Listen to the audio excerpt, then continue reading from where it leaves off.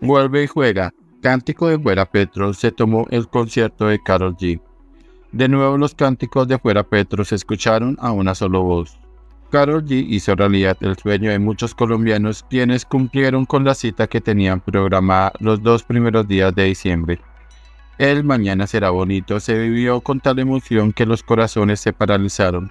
Los cánticos de Fuera Petro tampoco faltaron. Las presentaciones del artista paisa en la ciudad de la eterna primavera se llenaron de talento, de emocionantes y sorprendentes momentos, al igual de instantes que difícilmente podrán ser borrados de la memoria de los asistentes. Pero la alegría y la felicidad no representó un obstáculo para que el cántico de Fuera Petro tomara poder del estadio Atanasio Girardot.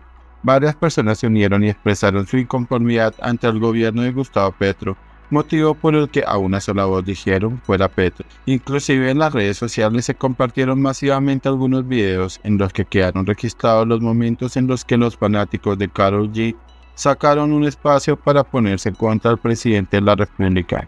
También al finalizar la inolvidable presentación de la bichota, algunos seguidores se unieron para quejarse y pedir un cambio en el país. Resulta importante recordar que esta no es la primera vez en la que los ciudadanos gritaron fuera Petro. Han sido varias las ocasiones en las que este cántico es lanzado contra el mandatario Gustavo Petro como una muestra de descontento por el manejo que le da al país.